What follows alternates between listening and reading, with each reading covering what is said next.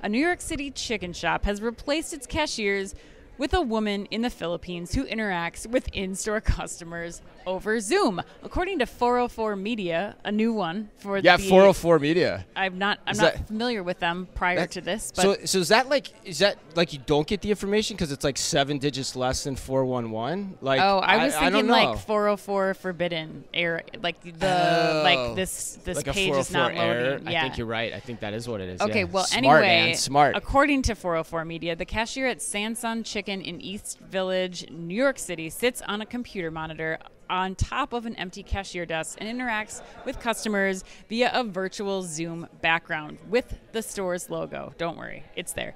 Um, an iPad that would normally serve as a payment terminal reads, Welcome to my store in Comic Sans. Don't know why that's important. Uh, when the cashier Who writes leaves- these things? Yeah. I don't know. Definitely a former art director who's like Comic Sans. Ugh.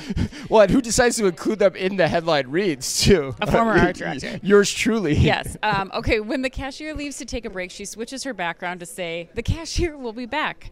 On a piece of paper taped to the cash register and facing customers is the handwritten Zoom meeting ID and password, presumably so a human employee at the restaurant can dial in the remote worker. Chris, Yeah. uh, what do you think of, of this Sansan shenanigans here happening?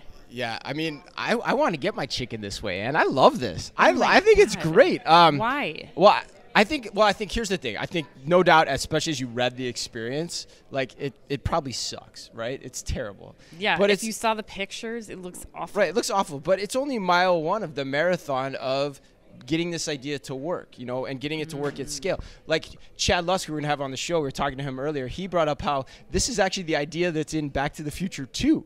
And so, like, you know, and that was 25, Yeah, maybe there's a reason that it is not happening 25. No, but I see. I disagree. later. So, like to me, like imagine if there was no latency in the interaction. Your order was appearing before you on the screen as you say it to somebody, just like at the drive-through, and and what's what's how's it really that different than using your mobile phone or a kiosk at McDonald's? So very. You think so? Because Yeah. I don't think so. Because stores for store, we've heard it at WRC, right? Stores are getting harder and harder to staff. Yes, the agreed. cost of labor is going up as well. Mm-hmm. So like it's it it makes sense to experiment with this.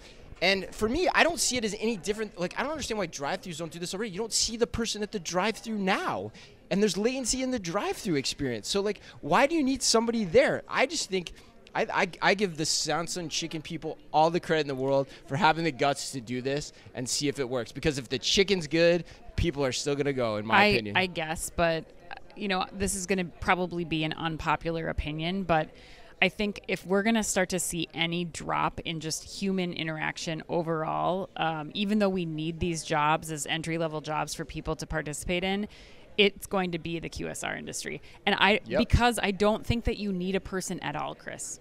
I hate to say it. I, I think that with the the advances and the adoption of mobile ordering from everywhere from McDonald's to Starbucks, like ordering just oh, you just your- for you just I force think- a digital. You're saying you're you- going even more extreme. You're I saying am. force a digital interaction. I am. I think, Okay, especially right. for a small I like operator this. like this. Like, I don't think that I don't. I would not have gone the route of of worrying about onboarding, having an employee in the store Right, be right, responsible for right. connecting a Zoom. Like, why don't you just force mobile ordering Right. and then go backward? If you really feel like you need a human in the loop in this Right. case, then maybe you you Yeah. figure out how to rearrange store staffing and things like that. Like, I just think going directly to mobile ordering makes the most sense. People prefer it because Yeah. you get to put your own requests in, or your, you know, especially with the You're do- Starbucks You're app. doing like, it on DoorDash all the time. You're doing Starbucks, it right. all yeah. the time. Yeah. I think Right. that adoption, great point. we- adoption has gotten to the point, especially when you talk about Great like point. you can't hire people. The cost for for um, QSR workers in California, the ba- it's twenty dollars an hour minimum wage now in California for these types of workers. Like I just don't understand how the economics continue to work with humans in this place. And the last thing I'll say is, the last yesterday we're in the lobby, right? There's a there's a Starbucks here in the lobby. The person just goes and pushes a button and makes the coffee and hands it to me now. Right. Like these are scenarios You're- where you're like, right, the European coffee making. Yes. let's just be real about Yeah. this. Where are humans best serving this experience? And it's maybe in the greeting, it's maybe in something else. It's not with the ordering platform. So I would just do away with this altogether. Well, I stand corrected, and I think I think you got me convinced. Yeah, that's the way to go. Yeah, that's the way to go. If you're just gonna if you're gonna do this anyway, because people are gonna be happy, just force it to happen. I Yeah. think that's a really smart point. Yeah, kudos.